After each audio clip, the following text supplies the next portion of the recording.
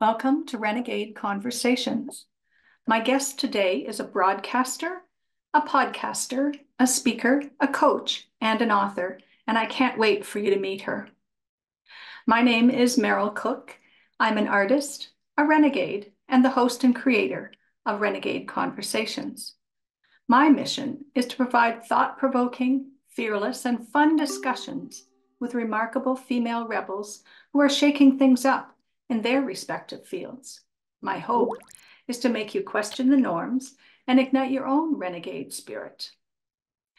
This episode of Renegade Conversations is sponsored by the Cultured Coconut, a traditionally fermented organic coconut milk kefir that's free from dairy, sugar, and gluten. It's the most powerful and affordable natural probiotic. And it's proudly made by a woman owned business based in Nova Scotia, Canada. It's widely available across Canada and in the US, and it can also be ordered from the cultured coconut directly. My next guest is Nancy Regan, and I'll read to you from her bio. Nancy is a professional communicator whose dynamic career includes TV and podcast hosting, emceeing, and presentation coaching. She has a passion for storytelling and engaging with others in conversation and creative collaboration. A lifelong lover of language, Nancy recently released her first book with Nimbus Publishing. It's called From Showing Off to Showing Up, and it's an open and vulnerable account of her experience with imposter syndrome and perfectionism, and her adventure filled journey to a life of authenticity the book hit the Globe and Mail national bestseller list within two weeks of its release, and I just finished reading it, so I can't wait to tell you a bit more about it. Nancy built her reputation as the highly rated host of CTV Atlantic's Live at Five for 15 years, broadcasting to a daily audience of approximately 350,000 viewers. She also served as the host of CTV's Good Morning Canada and that news show on TV Tropolis. During her broadcast career, Nancy interviewed many of the biggest stars in the world Oprah, Madonna, Harrison Ford, Mel Gibson, Christopher Plummer, and Gwyneth Paltrow, to name just a few. She has a well honed gift for putting people from all walks of life at ease. And now she relishes working with others to help them conquer their fear of public speaking and find their own level of comfort in the spotlight. She also shares her knowledge, experience, and enthusiasm in keynote and workshop presentations, including her signature, What TV Taught Me Lessons in Confidence and Communication, and Presenting You. An accomplished actress, Nancy has appeared on stage at Halifax's Neptune Theatre and in TV and film productions such as Haven, the Trailer Park Boys, and Reversible Errors. One of the most recognizable people in the Maritimes, Nancy is known for giving generously of her time and talent to countless charities and is proud to be the mother of three wonderful humans. Welcome, Nancy. It's my great pleasure to have this conversation with you. Nancy, you and I have never officially met, but I've known about you from Live at Five and probably heard you speak as an MC at various fundraising and networking events over the years. I just finished reading your book From Showing Off to Showing Up, and I was struck by how many times you would be describing an issue that you were dealing with, and I would think, oh, I have a mad about that, or oh, I hooked up. Oh, I have a wild woman about that. So I really think uh, on many things, you and I are on a similar wavelength. So thanks so much for agreeing to hop on Zoom and have this conversation with me. So Nancy, here's a random question. What are you drinking today? that is that's an interesting way to start. That is, hmm, that could be a trick question. It could be. Uh, but you, you, did warn me ahead of time. So I have something appropriate and something that I love. It's actually kombucha and it's specifically a no sugar kombucha because I am really trying to focus on the health of my microbiome lately. Uh-huh.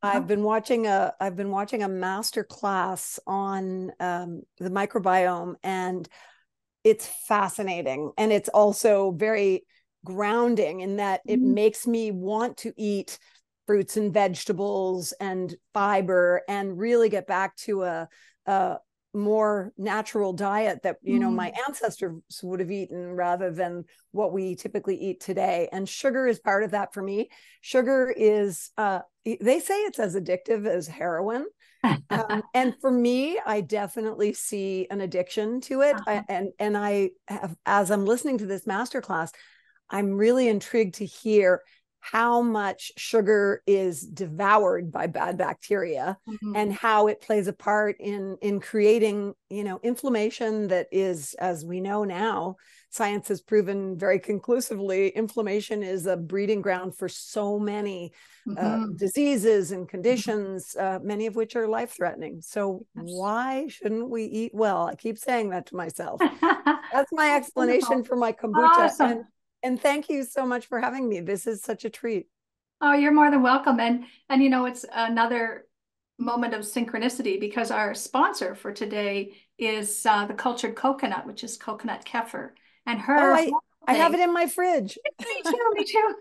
and her whole thing is about the gut microbiome, right? So that's wonderful. So I'll be sure to put a link to uh, your brand of kombucha in the show notes, and so people can look that up. Meryl, can I also respond to something you said in your intro?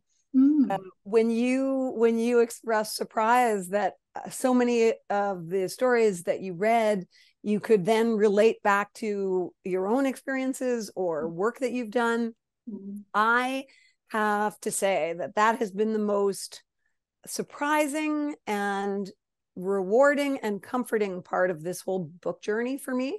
My book is very vulnerable, as you know.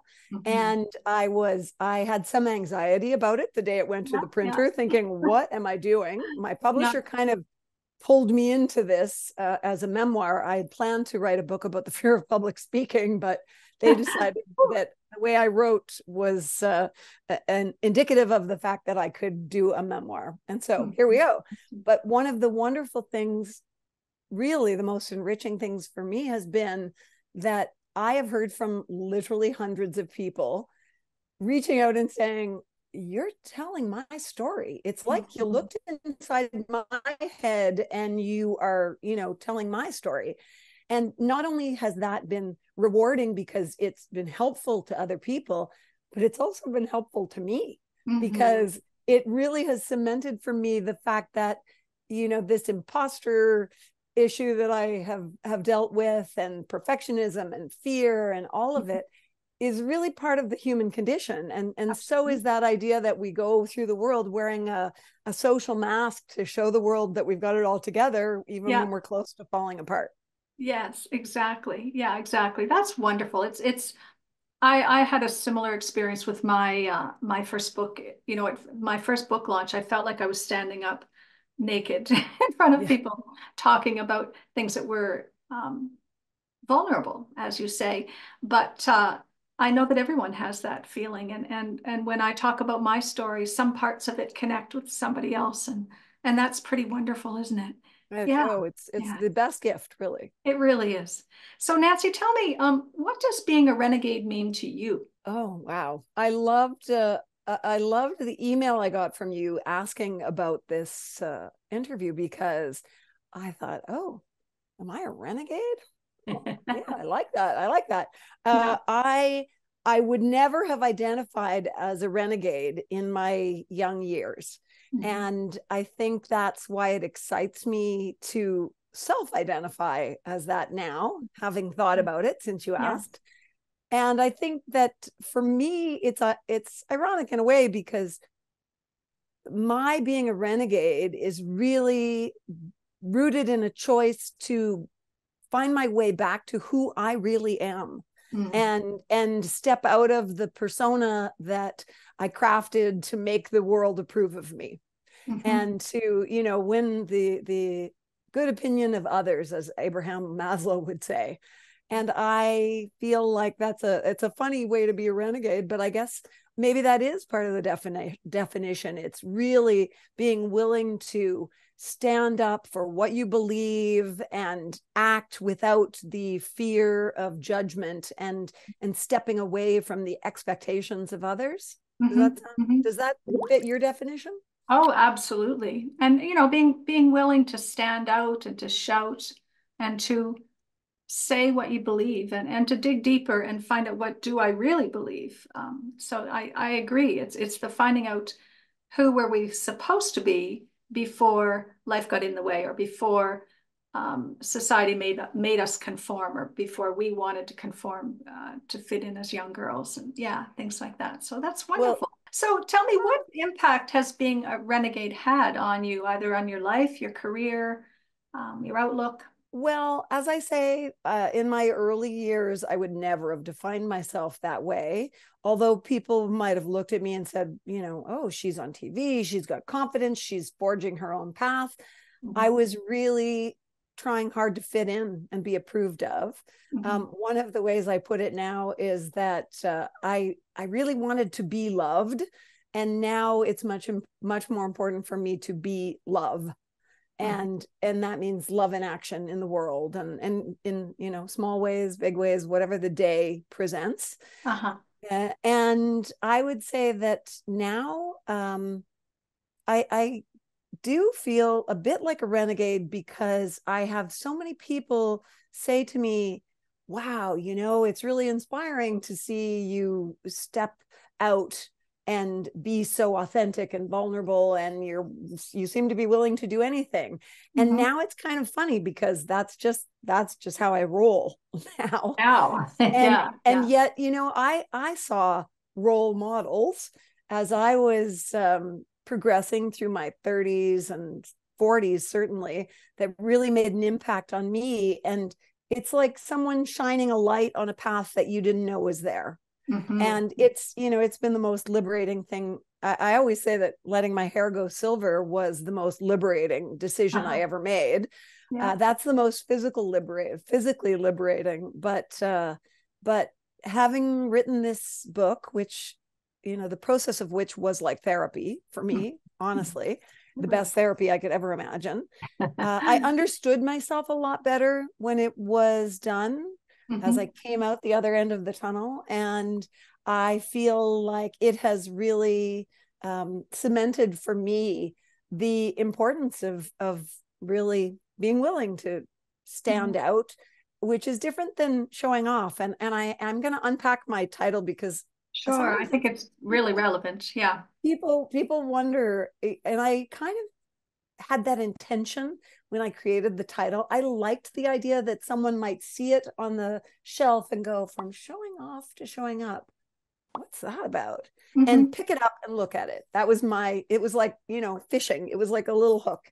and it's very, it's very meaningful to me because as far as I'm concerned, showing off is when you're moving through the world uh, mm-hmm. looking for that approval I'm talking about mm-hmm. and looking for praise, looking for uh, the good opinion of others. It's the mm-hmm. best way to say it. And showing up is letting go of living a life according to other people's expectations and actually saying, here I am, this is me. And and part of that is take me or leave me and mm-hmm. that's okay. And and if if someone if i i it's why the very first line of the book is you may hate this book which is both possibility and permission.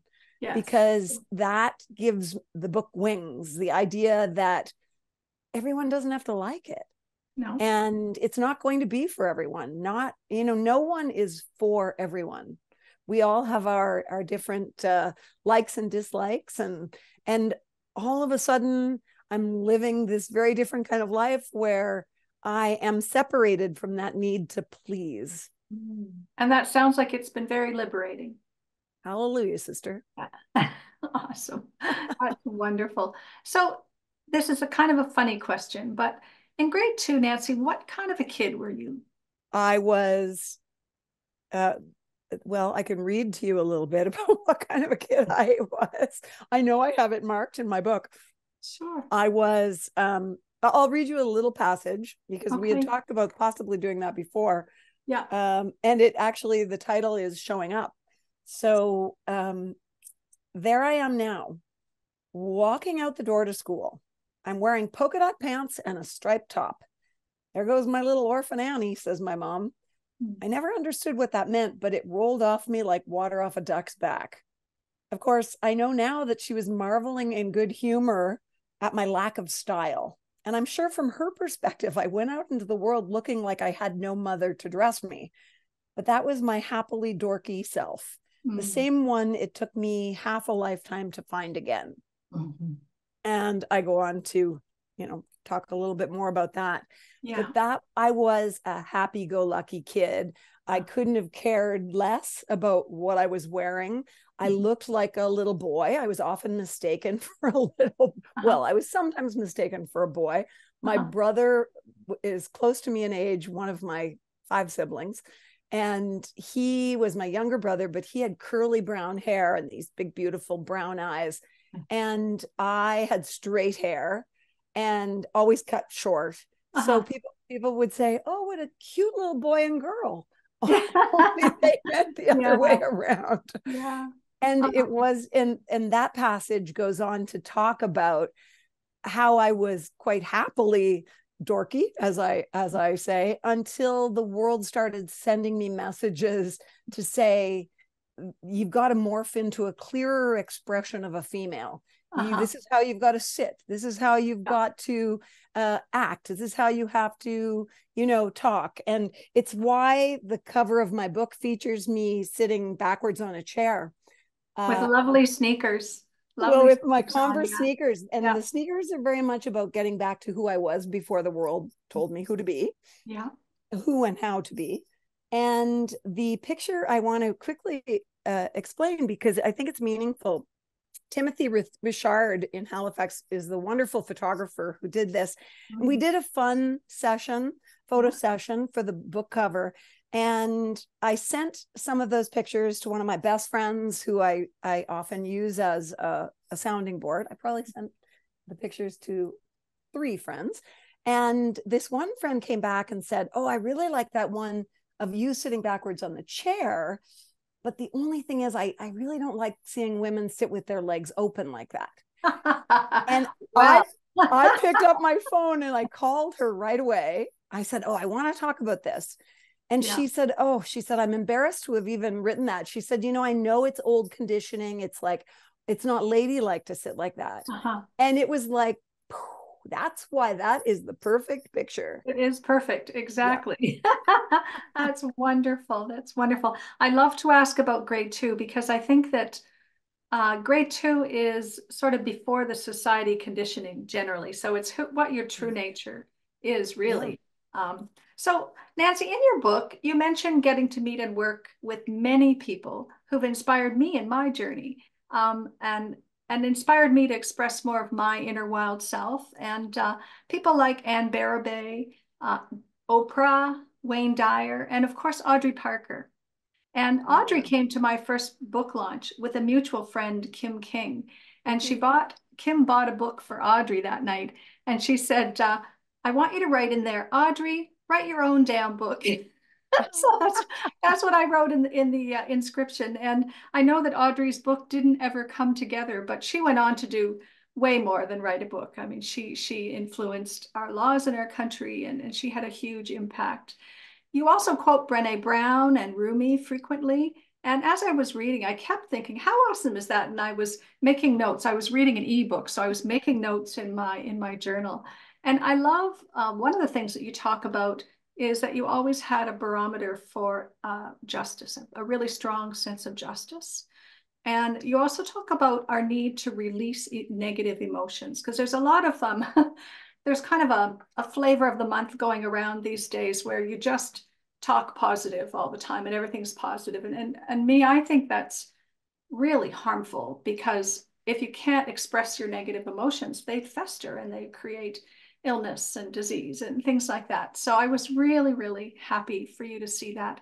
But one question that I had for you is um, what opportunities or openings has this book created for you? Because it seems like it's not only opened up this feeling of freedom, but it's it's opened up some opportunities. So what, what can you tell us about? Well, this is where you will run into problems because I am an interviewer and I will take your question and twist it Go for it. to how I to to the answer I want to give you. I will get to that last part of your question, but I need to address a couple of things that you said first, if you don't mind. Sure, Um, one of them was uh, first is my friend Anne Berube would love the fact that you mentioned her before Oprah, Wayne Dyer, and Audrey.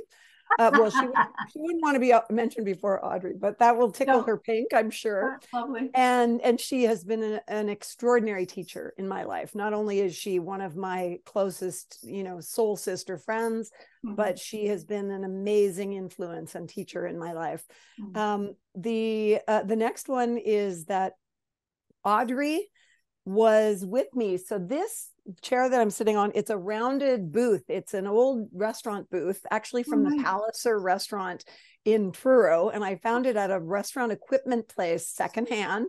It was an Uh-huh. old green ugly looking thing.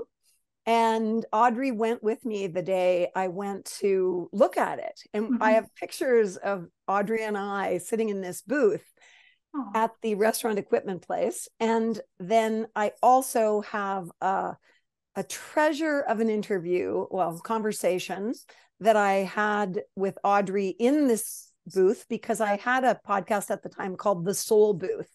right. And if anyone is interested in in learning more about Audrey and and feeling her extraordinary presence, you can Google Soul Booth Audrey Parker, and and she was you know just extraordinary. Uh, to tell your listeners a little bit more, Audrey had uh, cancer in every bone of her body. Basically, her skeleton was just filled with cancer. By the time she found out she had breast cancer, it had metastasized and had had spread through her whole skeleton. And so she knew that she was going to be leaving, and she made her last chapter uh, just incredibly powerful and joyful. Yeah. And from the day she found out, even before a few hours before she found out the results of her test, she said very memorably, and I say this in the book, you know, Nance, if if they tell me I have cancer, uh, if they tell me I don't have cancer, I'm going to live joyfully, Mhm. you know, because I've had this sort of scare. If they tell me I have cancer, I am going to live joyfully. Yeah. I am not going to waste any time. Mhm. And boy, she didn't waste any time. She she was an advocate for medical assistance in dying, and as you say, impacted our legal landscape in Canada. And she was so gratified, like you know, profoundly gratified by the role she was able to play and and by the messages she received gives me what i call truth bumps it gives me Mhm. truth bumps just talking about this she's in she's in the booth with me Yeah. um, she received messages from all over canada from Mm. people who were very emotional about her contribution and the fact that she was fighting so hard but also was such a clear voice for the Mhm. cause and and she as you know um left early. Yes. uh her her physical presence left early. She decided to do MAID before she actually had to because she had identified this loophole in the law and she had cancer going into the lining of her brain. And she knew that if it interfered with her cognitive ability they would not go through with her medical assistance in dying even if she did a legal uh, you know if she she drew up leg- legal papers or anything Mm. there was nothing that could impact that and Yeah. that's what she changed and and she also was very adamant about the fact that she was fighting for this change for people in this special category that she was in who were Mm. not vulnerable in any Right. way Right. and and so that's important always for me to mention Yes. she Yeah. she had no one who was going to benefit from her death and she was in her right mind so to speak although i don't like that phrase exactly. anyway okay so Yeah. now to actually answer your question i guess no worries. after all that Yeah. um the book has just been a wonderful springboard for me it has opened up conversations for me across north america and i've i've had oh my gosh i've i've done interviews but i i don't even like the word interview really i've had conversations with podcasters and radio hosts from uh, one end of of the continent to the other, lots of in in the states, Uh-huh. and I've been really uh, to harken back to what I said in the beginning. I've been really touched and moved by how it's resonated with people. You know, a radio host in Texas who would just rave and say, "Look, I can't tell you what this book has meant to me," and Oh, nice. it's kind of surreal yeah, but yeah. it just it it's such a it's such a method of connection and you mentioned my my uh adoration of Brene Brown, my appreciation for her, Uh-huh. for what I've learned from her, starting with her first book that I read, The Gifts of Imperfection, which was Mhm. transformative for me. Um, she has continued to be a real lighthouse. And one of the, you know, biggest learnings from Brene is that we can't have authentic connection, and it is a fundamental human need. We Mhm. can't have it without allowing ourselves to be seen. You Mhm. can't have true connection without Right. authenticity. Yeah. And you, it's very hard for people often to truly be authentic because we hold shame about the parts of ourselves that we don't approve of Mhm. and and that was very much the case for me and it took this sort of uh archaeological dig to figure out why i was so worried for people to see me make mistakes and to see my imperfections as i considered them Right. and eventually i got to a place where i realized that we're all either flawed or fraud We're either you- fraud or we're lying. right well that's the Yeah. thing i mean if Yeah. you if you are purporting to the world that you have no flaws i believe Mm. you're a fraud and Yeah. and are they really flaws no they're just they're just aspects of our Uh-huh. personality and our you know maybe our uh our intellect and and so on that we think are not are not something to be proud of Uh-huh. and and she has written so much and talked so much about shame. And if if anyone's encountering this subject for the first time for goodness sake google brene brown shame Yeah. and vulnerability. And she has two ted talks that are among the most watched ted talks on the internet for a reason because people watch it and go as i did the first time like oh i never i never considered like yeah i'd like to be authentic. But then it was like shame what what Yeah, no, she's so fabulous. so so digging into what i didn't like about myself Uh-huh. helped me find my way forward to embrace all parts of myself and and you know actually just be happy to be me Yeah, it's wonderful. It's wonderful. Can I ask you, is there a line or a shape that would define you? This is a question that I often ask in my workshops, and it's a way to get people thinking outside the box. But so is there a line or a shape that would define you? And, and if so, what would that look like? um i'm going to show you my my ring on my finger it's a Mm, spiral Yeah. and it came from Greece. It's a square spiral, which actually I think is, I haven't thought about it, but in some ways I think it defines me. Uh-huh. Um, it defines my life. I I Mm. really believe, and this is something that I learned from Anne Berube. I believe that we live our life in a bit of a spiral, and oftentimes we will have frustrating times where we we hit uh um you know it's like we're sunk in the mud and we can't get through an issue and we're really frustrated and Mhm. and angry or or it's a problem that we thought we have overcome before Mhm. and we're back in it again and it's again, yeah. you know it's like we're in a labyrinth and it's like what how can i be back here um but as anne describes it we go through these issues and and we'll hit them on different rungs of the spiral Mm. so as we learn and become more of ourselves, basically, and more enlightened or more, I am not to suggest I'm enlightened at all. I'm on, but I'm on the journey. Um, it's a practice. Uh, Mhm. we experience those same challenges and frustrations, but we have new tools to Yeah. deal with them. And Yeah. sometimes we are called to say, okay, yeah, here I am again, Yeah. facing this lesson again. But it's because I haven't completely mastered it. right. And and it goes to that idea of instead of why is this happening to me? what is this here to teach me? What yeah, why is this pattern here again? And yeah. uh, and what you know, what do I learn from it right now? And why is it coming up right now? Yeah, I, I I've had, had those experiences as well. So yours is a square with a spiral inside. Yeah. Yeah. Well, it's a square spiral, but I also I mentioned a labyrinth, and in some ways, I'd say a labyrinth describes my mind well because it's not a pattern. It's uh, when you go into a labyrinth, if you walk a labyrinth, you uh-huh. think it's going like a spiral, but just as soon as you almost get into the center, it loops you right back out to the edge. and it's very much like the spiritual journey, you know, just uh-huh. when you think you've got it all figured out yeah. and your ego is thinking, oh, yes, yeah. I'm so spiritual.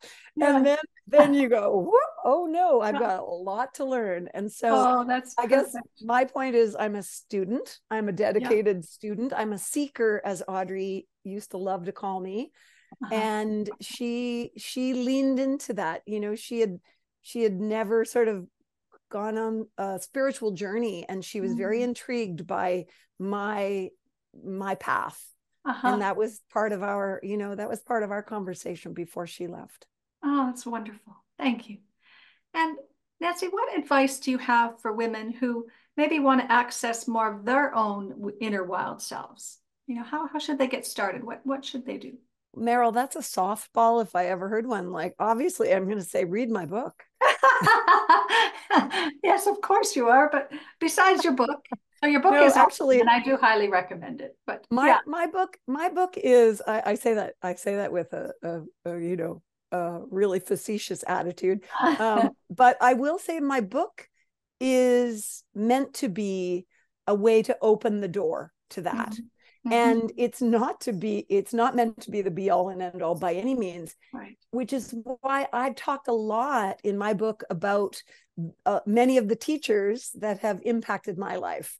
Uh, mm-hmm. You know, working with Wayne Dyer and and what that meant to me. Like I describe him as a bit of a a divine um, uh, a divine obstetrician or something because it was like uh, he really helped to birth this new mm-hmm self because he, he he was doing this tour called I Am Light and it really made me look at whether I had been ignoring this internal light, this divine light that I had within mm. for a long time. And I think that I turned that light down on a dimmer switch when I was a kid, being yeah. told, you know, you're told, be quiet, be good, behave. Yeah. But it's very rare that as children, we're told, be like be everything you are be angry to your point be be loud be exuberant yep. we're told you have to you have to rein all that in and and just to what you said about about um, embodied emotion that was a big part for me of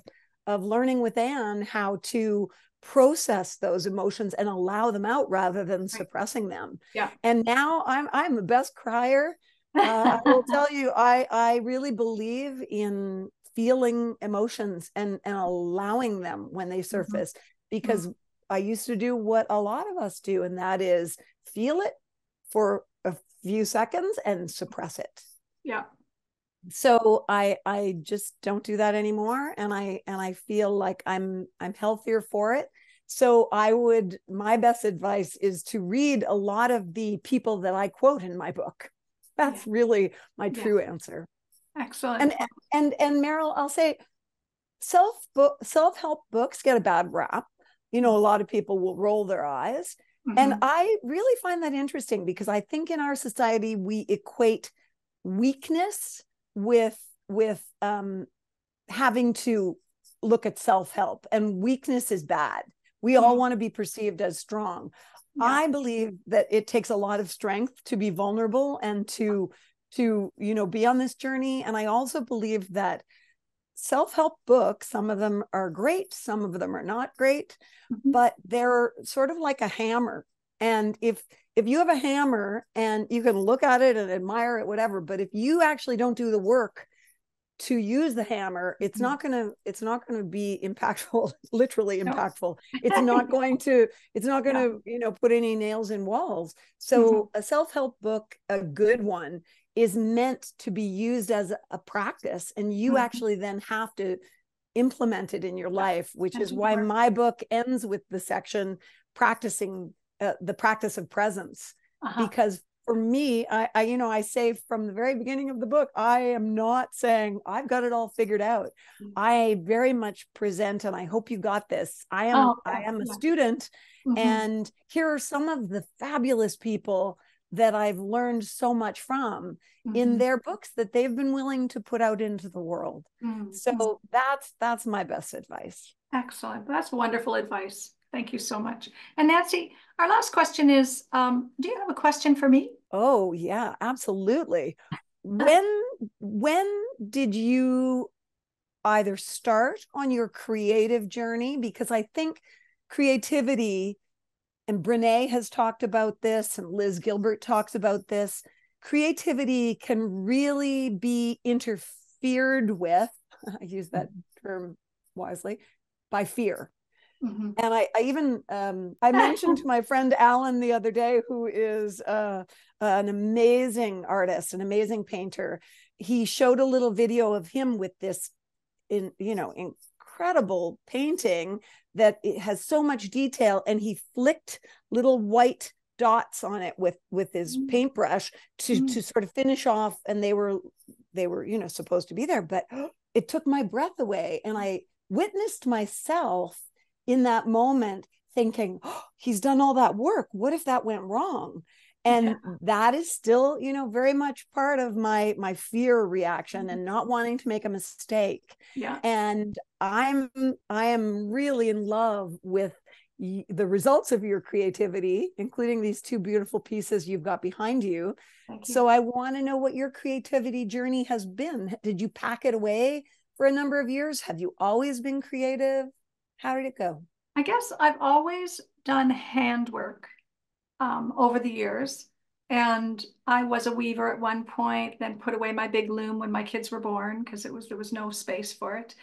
Um, and I was a rug hooker for about eight years before this whole process started. So in 2015, I was diagnosed with breast cancer, and I had been a homeopath for 20 years and a Bowen therapist. Really? And, uh, and I, I thought at that time, well, you know, cancer is a pretty deep illness, and I I really need to get my shit together and and look after myself and not be responsible for other people right now. So I closed my practice and I started writing in a journal. Um, author Sheree Fitch actually introduced me to journaling. Um, oh, just Sheree's wonderful. After, oh, she's amazing. A week after I finished radiation, and so I started journaling and and I decided that my rug hooking frame would be my way of holding space for myself while I figured out what I was going to do. Um, I didn't, I had no idea what I, what I was going to do. So I just started to write and hook every day. And, and I found the more I wrote, the more ideas for hooked pieces came. Like pr prior to this, I had always hooked, um, you know, pictures of things that inspired me or or scenes. I, I had been designing my own rugs, but nothing, uh, nothing that revealed kind of my inner self, I would say. And so I started these doing rugs. I did about, uh, I did seven rugs in a period of eight months that were really just what I saw as the next steps in my healing journey. And so I, and that, and as part of that, I filled five journals um, and wow. wrote my first book. so, so it all kind of came together and, uh, and I think it was the getting so sick and giving myself permission to just design and just to be and not to have it all figured out. Uh, I think as as a homeopath, I'd always try to help everybody else and and be the best homeopath I could be. I never felt like I was good enough, and I know that I helped a lot of people, but I still didn't feel good enough. And uh, and so this process was just uh, okay. What do I need to heal?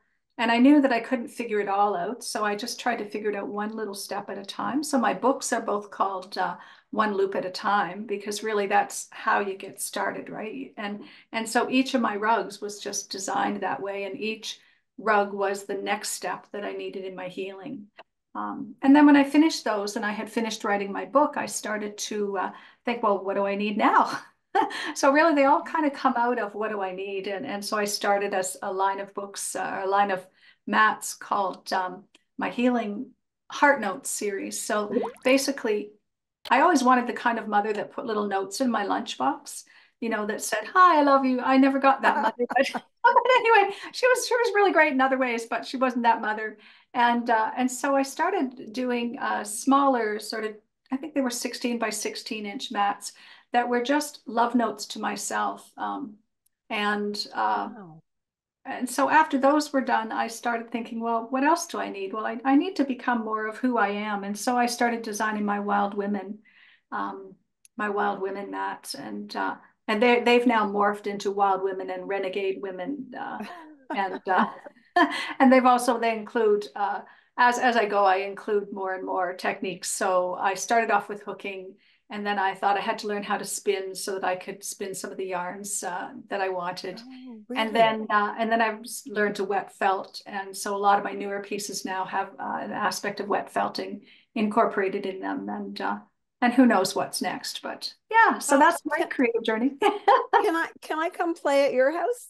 Absolutely, yes. After we finish this recording, we'll uh, we'll look at our calendars and uh, and let's let's set up a date to uh, to do some hooking. Wow. When I when I um, interviewed Elizabeth Gilbert in New York in maybe 2018 before she came to Halifax, I I love the fact that she she talks a lot about creativity and fear. In fact, one of her books is one of my favorite books ever, which is called Big Magic.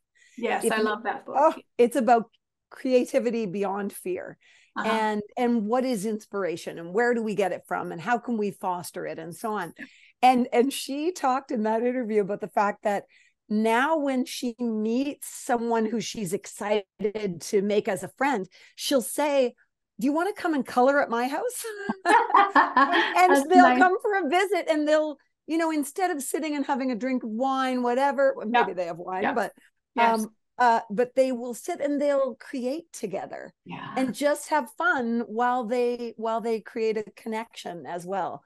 And i really love hearing about that. Thank you for telling me that. I'm welcome. so curious to see more of your work oh and, i'd love to show you. I have a whole closet full of things. Oh my gosh. Well i i will be i will let the listeners in on a little secret in that when we were setting up today and i saw those pieces behind you I said, I this is maybe a late time to start a negotiation, but I'm only going to do this if you promise to show me how to start hooking yeah, as a beginner. Yeah. So that's that's, that's part of our contract. And I thought I'd put it in here now. I know you can so that we that. have we have evidence of it. exactly. exactly. Great idea. Uh, thanks so much, Nancy. So thank you, Nancy, for taking the time to have this conversation with me. Um, I, I'm so delighted to meet you, and, and I'm I'm looking forward to getting to know you on another level uh, when we have our first artist date. So you won't be able to get rid of me now, Meryl. awesome. That's Thank you so much. Thank you. Thanks everybody for listening. I really appreciate it. And and I will say the one last thing about my book is that every time this is a first time author thing, I guess, but still every time someone says, "Oh, I read your book," I there's a part of me that goes, "It's that not enough part," you know, yeah. that goes, "You spent all that time reading my book." Like, that's wonderful. That's incredible. Can I ask a favor? Absolutely. Um, uh, this is my intuition, and I always go with my intuition. Uh-huh. I, I, my gut is important to me, not just with kombucha, but also with instinct. Uh-huh. And and that is that uh, one of the most vulnerable parts of my book was including poetry, uh-huh. my own poetry which is which is sort of juvenilia it's it's yeah. it could have been written by my grade 2 self maybe but it's very meaningful to me and mm-hmm. it's been wonderful because sometimes it resonates with other people so I, i'd like to read you the last one in my book oh i would love that yeah okay. it seems like the right way to since we finished talking about creativity when you describe your process with your art that is also embodied emotion you know uh-huh. your journaling and your your creativity is another way to actually let emotion out right. and process feelings yeah. and yeah. that's so important for you to be setting that example in the world like that's a gift to others just when they when we see you it makes us go oh it's like that path you know you're shining yeah. a path on a yes. path we didn't know we didn't know was there and it's like i can do that Okay, so here it goes. Great, thank you. Um, it's I just say I'll sign off with this three-pronged wish that is my own special mantra. Find joy, stay safe, be love. And of course, a poem. Serenity isn't easy. Sometimes it flows through tears. It's pursued through hours of arduous work that quickly turn to years. When I feel like a broken record, I remember I don't need to be fixed. The spiral serves up lots of joy, but also its share of tricks. It fools me into complacency, believing it's all figured out, then loops me back to the start where I'm mired in fear and doubt. Like the universe that's oh. within me, there are patterns along with the pain. With presence and practice, I see them and set off on my path again. And my last thing I'll say is that my audiobook just came out on Audible and Kobo. And when I was finishing writing, I realized one day I'm more excited for people to hear my book than I am for them to read it, even. So, and you you did the reading? I did, and I oh, and I oh, loved it. I had a oh, how nice. my my pod my podcast team at Podstarter uh, they produce my podcast, the Canadian, well, not my podcast, but the the podcast that I host, the Canadian Love Map, uh-huh. and I um, they I'm so you know so grateful to them. They recorded my audiobook, and it's now available on Audible and Kobo, and the other platforms are a little slower to right. to post it, but they're coming. So Good. Well, i will be sure you send me the links, and I'll put them on the show notes as well. So oh, thanks again, Nancy. thanks again, Nancy. It's so wonderful to speak with you. I hope this episode has left you feeling inspired and ready to channel your own renegade spirit. If you need a little help getting started, please reach out to me. This episode was sponsored by the Cultured Coconut, a traditionally fermented organic coconut milk kefir that's free from dairy, sugar, and gluten. It is the most powerful and affordable natural probiotic and the best part is it's proudly made by a woman owned business based in Nova Scotia, Canada. Be sure to subscribe to my YouTube channel for more Renegade conversations, also available wherever you get your podcasts as an audio version. Thanks so much for watching. Until the next time.